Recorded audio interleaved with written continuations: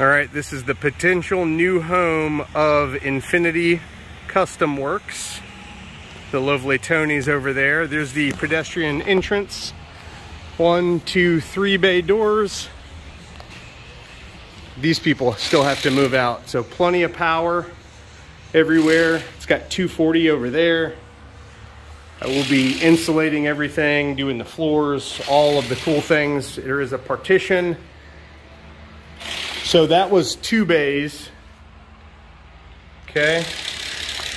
And then we have this air conditioned space where this will be the office slash warehouse, whatever. So there's one bay here, a pedestrian door, and then there's a window that's blocked off. That is the community bathroom around the side. Air conditioner, obviously.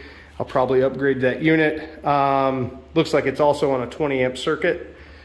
And then there's a sink that does work. And I guess some storage in the attic area. So this will work great. Uh, we'll be able to have boats parked right out front. So that's nice. Got plenty of room for that. So basically from this bay down will be ours. Be able to, like I said, work on boats out here.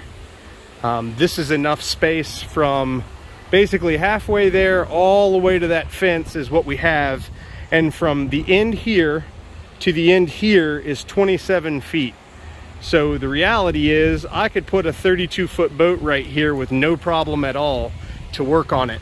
The other cool thing is this is an eastern facing building so that when the sun goes over in the afternoon, it won't be beating us up because most of our heavy production is done afternoon time believe it or not but yeah it looks good to me. Pretty happy with uh, the size.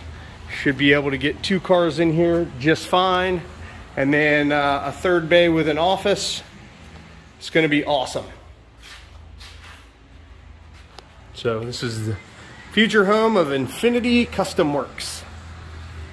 Pretty excited it is in an industrial park. There's another building across the way.